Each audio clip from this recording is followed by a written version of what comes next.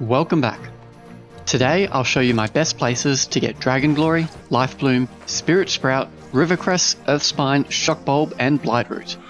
I've got an epic route through Monarch's Bluff to show you. This route will get you every single type of elemental plant in the game. And then I've got a second epic route through Windsward to show you. I've also got a few smaller places where you can go to get a small amount of a specific type of plant. There's Blightroot in Weaver's Fen, Life Bloom and Shockbulb in First Light, Soul Sprout in Everfall, and a little touch of Dragon Glory in Brightwood. Timestamps are in the description if you want to jump ahead. But before you do that, you're going to want to max out your harvesting luck before doing one of these farms. The more harvesting luck you have, the more chance you have of getting the rarer items, such as a leaf or a flower. You can hang a trophy in your home. These will give you a flat increase to your luck. A minor harvesting luck trophy gives you about 500 luck, and they're pretty cheap on the trading post. You'll also want to wear some gear that has harvesting luck on it.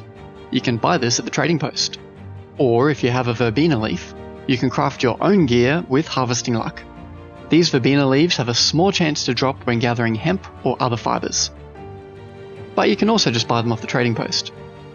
I gave my leaves to one of my mates who crafted me some gear with harvesting luck on it.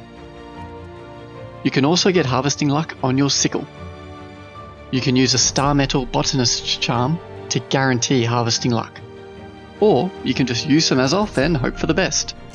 Or just buy a sickle that has the luck on it off the trading post. And of course, you can cook up some harvesting luck food. You need corn to craft harvesting luck, so make sure you eat this before you go out harvesting.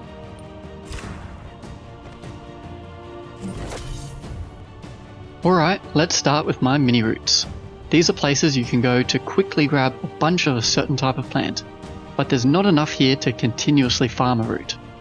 Weaver's Fen is a great place to grab some blight root.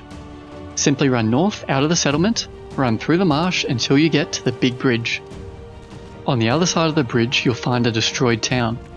Blightroot grows all around this area, so if you're ever in Weaver's Fen, be sure to pop up here for a quick bagload of death motes. One of my favourite zones is First Light. Down in the bottom right corner is an island that contains a lot of Life Bloom and Shock Bulb. Basically, just check out the entire area around these ruins, and you'll have a decent amount of Life Bloom and Shock Bulb in no time. Now this one is really super short, but I just wanted to point out that there are 5 Dragon Glory plants just north of the Brightwood settlement. So if you're ever in Brightwood, why not take a minute to run out of the gates up towards the north and bag yourself some fire motes. Finally, if you need a bucket load of soul sprout, Everfall is the place to go. I'm not going to take you through this entire route, but basically from the settlement you can run southeast down towards the Shattered Obelisk. All around these ruins there are tons of soul sprouts. Then you can head out east where there's a ruined bridge. This also has lots of soul sprout all around it. The Pirate Cove in the northeast has a fair bit of soul sprout around it. And finally, the farm up in the north has a lot of soul sprout as well. Let's start with my epic route through Monarch's Bluffs. This route starts in Cutlass Keys and weaves up and around and all through the zone. We'll get every type of elemental plant on this route. Let's start from the Cutlass Keys settlement. From there, run north down towards the river. I'll narrate the compass directions for you as we go. Crossing the river will bring us into Monarch's Bluffs. Run west along the top of the cliffs until you get your first Dragon Glory. Then head northwest across this plain. You should be able to see the three Dragon Glory. Keep going northwest. Cross the road. There will be more Dragon Glory in the forest. Go north up the hill. There will be three Shockbulb run to the east towards the Dragon Glory. Then northeast for another 3 Shockbulb. Northwest, just over this rise, are a couple of Life Bloom. Head due west and collect the Dragon Glory. Then northwest to get some Shockbulb. Towards the east, you'll see some Dragon Glory. Keep going east for more Dragon Glory. Then go north, crossing the road for more Shockbulb. Go northeast along the rocks for more shock bulb. Then southeast Hidden behind some rocks is more shock bulb. Follow the cliff east, cross through these ruins, and there's some Dragon Glory on the other side. Go east and grab the life bloom. There's another life bloom down to the south. Then go west for a bunch of shock bulb. There's some more shock bulb to the northwest. Now run northeast across the river and into the forest is some life bloom. Now head east over the rocks, through the forest until you see the next life bloom. Now run southeast, there should be three earth spine. Go northeast along the edge of the forest until you see the life bloom. Then go north and you should see the earth spine. Just keep running north through the forest and you should get a bunch of earth spine. Keep doing this until you get near the farmhouse, then head west, about 285 on your compass for more earth spine. From there go south by southwest, there should be 3 life bloom. Then go northwest, jump off the cliff to these crossroads. Run up the road towards the northwest. In the forest on your right hand side you'll see some earth spine as well as a bit of life bloom. Go east to get some earth spine, then south to get some more. Then go east, crossing the road to get some dragon glory, then continue east, cross another road to get some life bloom. Continue east around this rock and you'll come to a farm. This farm is full of blightroot, so run through and grab as much as you can. Once you've cleared out the farm, run to the north and follow the river to the north. There will be one last blightroot near this shack, and some river cress near the waterfall. Run to the southwest, up the rocks, and there should be some life bloom. Then head northwest through the trees, and there should be more life bloom. Down by the water is some river cress, then trudge north through the lake to get some soul sprout.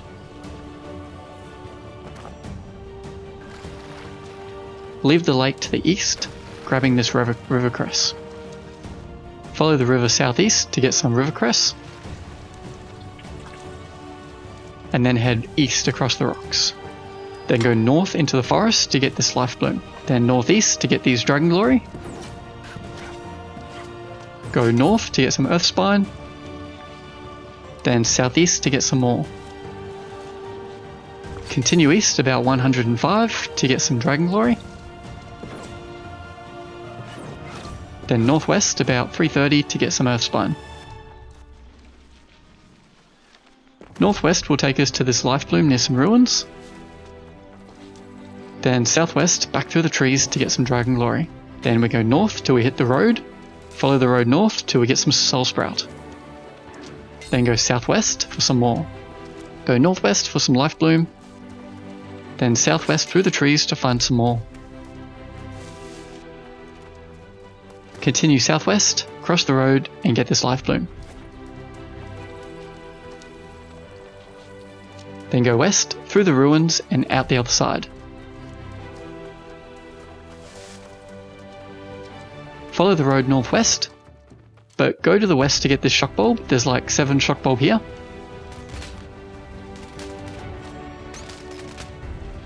Then cross the road to the east, there should be even more shock bulb.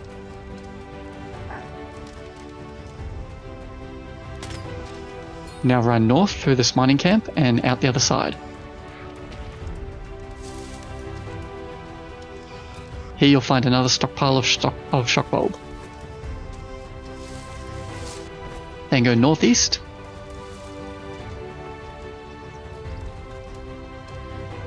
There will be some life bloom here.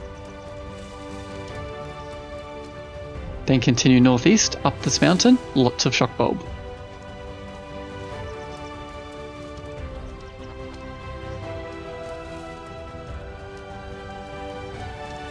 Then head north. There's some life bloom around this house.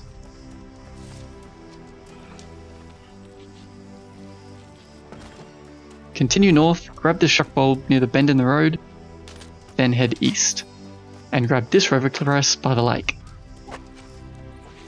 Then go north under the bridge and get the life bloom and the earth spine. Continue north and there should be a couple of river crests.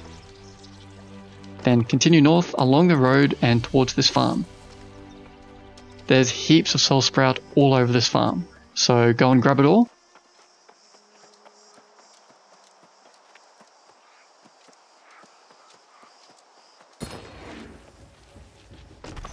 And once you're done, head back up the road to the west, back up the hill. Once you enter Monarch's Bluffs, turn south, and we're going to run south through these ruins. The rest is pretty straightforward. Just run through these ruins, collect all the plants, and just sort of head in a general southerly direction.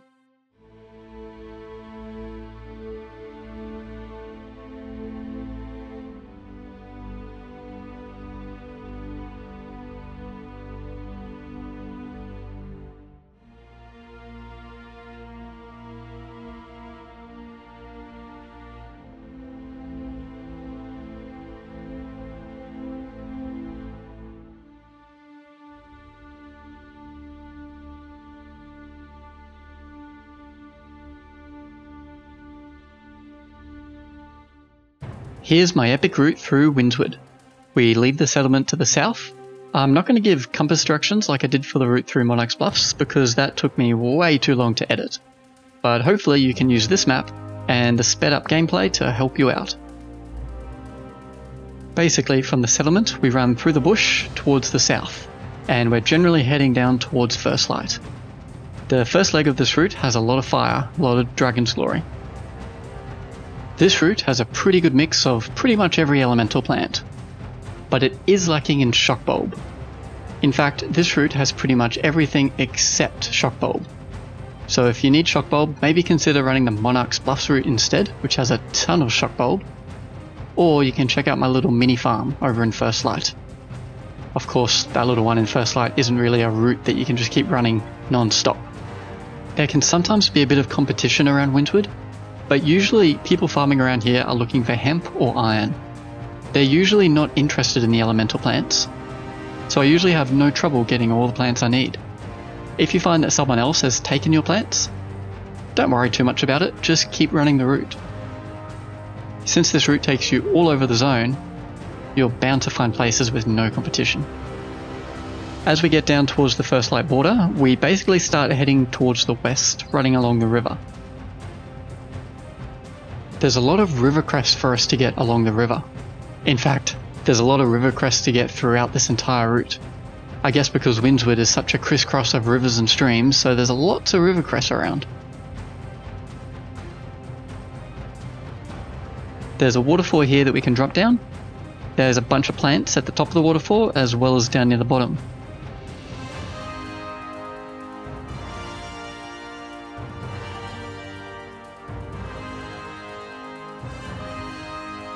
This pirate camp has a little bit of Blightroot. And then we keep running down the waterfall and keep following the river for quite a distance.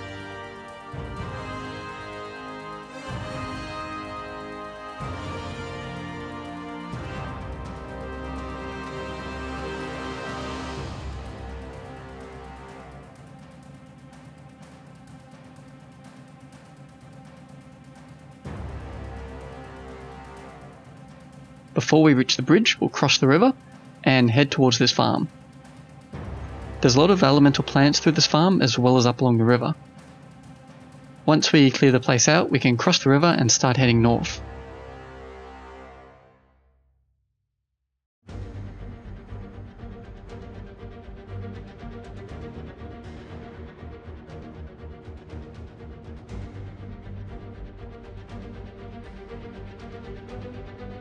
A bit of Dragon Glory out in the open.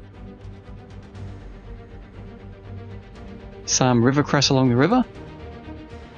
And then we start heading east, back towards town.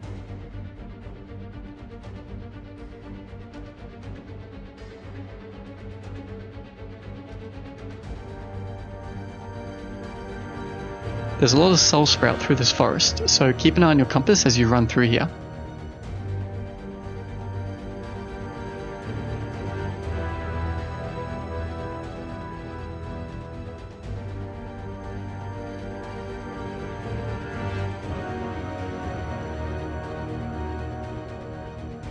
The farm has a bit of Dragon Glory, but also has a bunch of corn which we're going to need for harvesting like food, so I always stop to get the corn.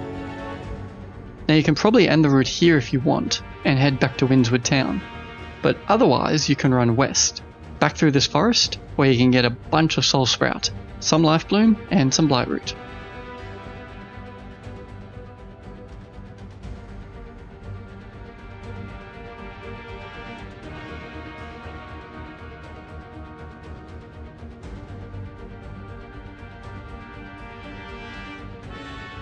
When we get to the river, we can cross it over to these grasslands. You can probably see the Dragon's Glory in the distance. It's easy to spot on these plains. So just keep running west until you get all the Dragon Glory.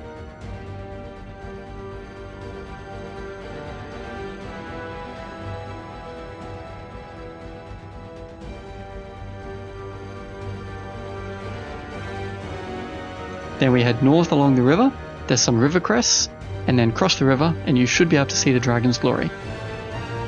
Now we can run down through this forest and you can probably see the Dragon Glory through the trees. Then head out onto the plains where there's some more Dragon Glory and some Life Bloom.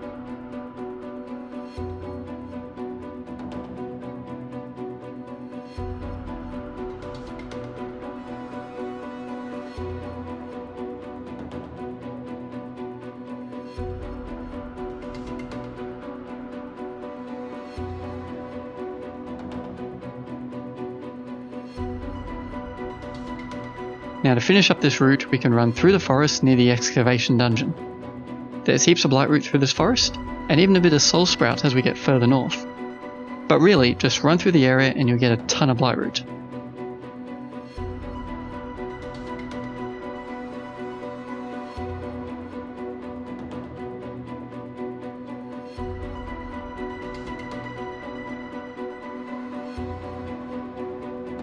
As we come out near the town, there's a few Dragon Glory to pick up as well.